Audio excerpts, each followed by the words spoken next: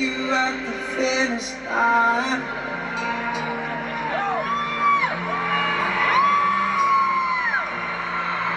Shit.